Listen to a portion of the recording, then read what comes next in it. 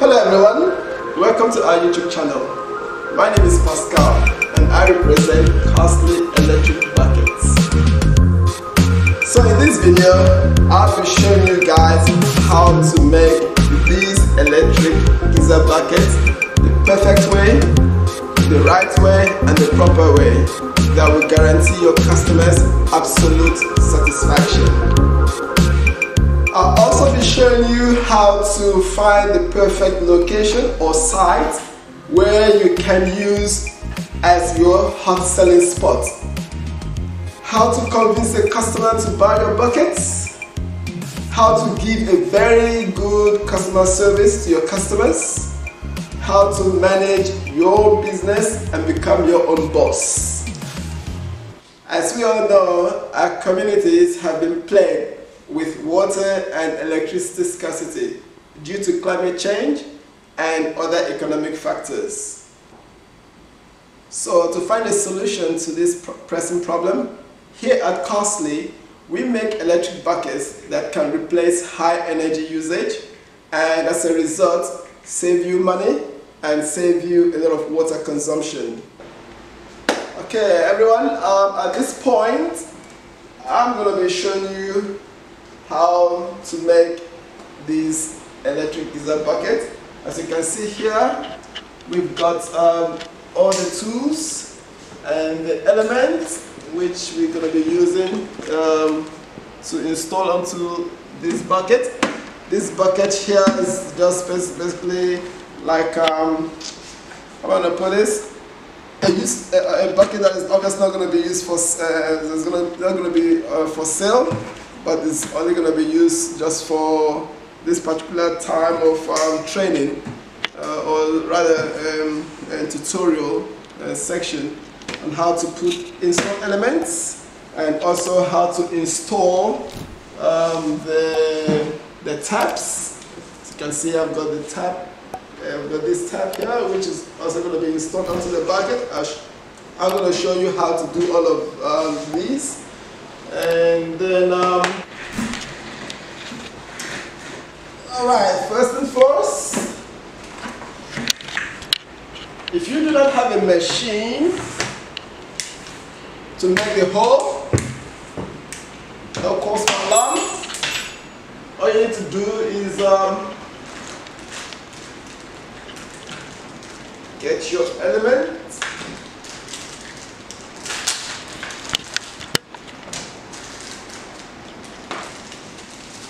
This is the seal. So you get a marker or a pen that has got um, very good um, outlining um, thickness in terms of uh, ink um, reflection on the surface. So your measurement from the bottom of the bucket to the point where you want to draw your circle I normally use this uh, um, length. I use my uh, pinky finger as a measurement, um, uh, sort of uh, like a ruler measurement. Um, and then this at this point here is actually perfect, you know, in terms of range between the bottom of the bucket to the level where you need your element to be at. Then next you draw a circle inside this particular seal.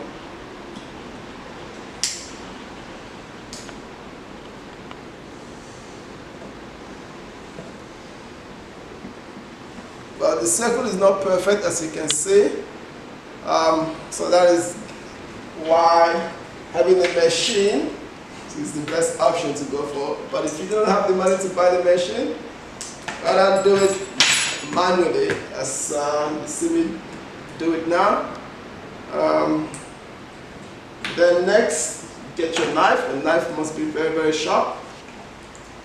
You hit your knife up with a lighter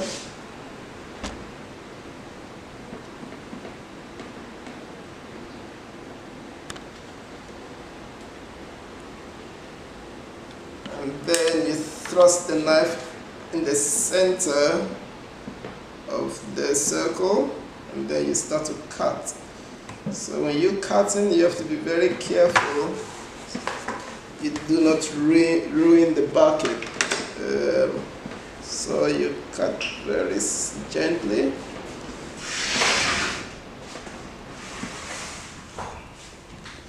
So this is the method I use when I'm cutting.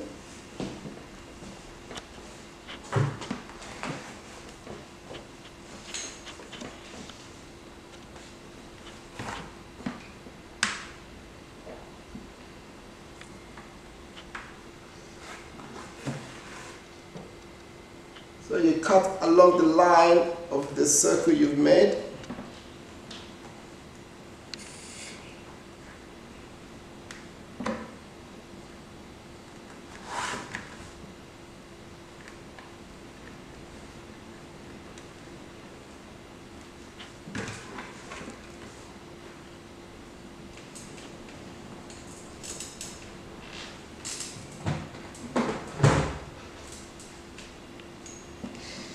So it takes a lot of elbow grease to cut this circle. This is one of the um, most time consuming part. That is if you're not using a machine obviously. The machine is a lot quicker. It makes your job a lot easier. And, and also avoids any irregular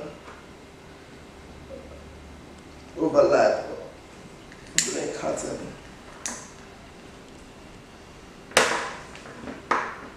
Okay, so got this here now, as you can see.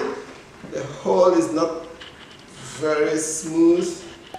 Um, however, you can try to, you have to smoothen it off um, by like scraping off the part that is um, like edgy and overlapping.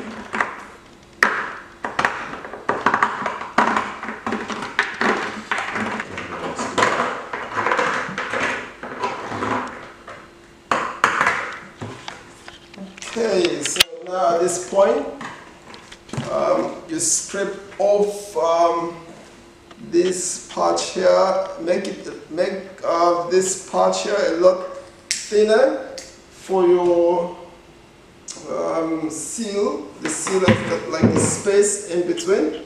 So the space in between goes right into the um, this circumference of this part here that this is gonna uh, you know find its way uh, to fit in.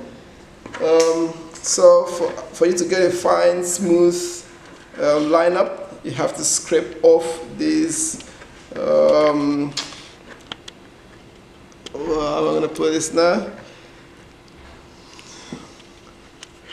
You have to scrape off these rough patches. Yes, scrape off these rough patches by using this uh, blunt parts of the uh, this blunt side of uh, of the knife. So basically, you just scrape them off like this.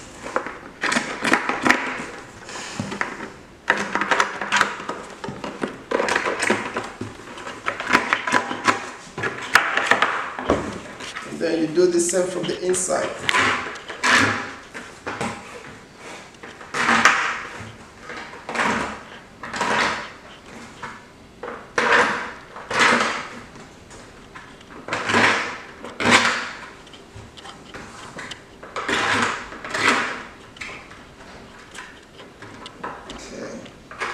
after doing that, sometimes you get some um, rough patches coming out again. After doing that, then use your sharp, the, the sharp part to like scrape them off um,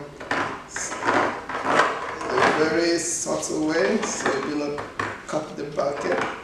Um, and then you can now see if your seal is gonna fit in nicely and smoothly. So the, is, the best way to install a seal is you use this finger here to push.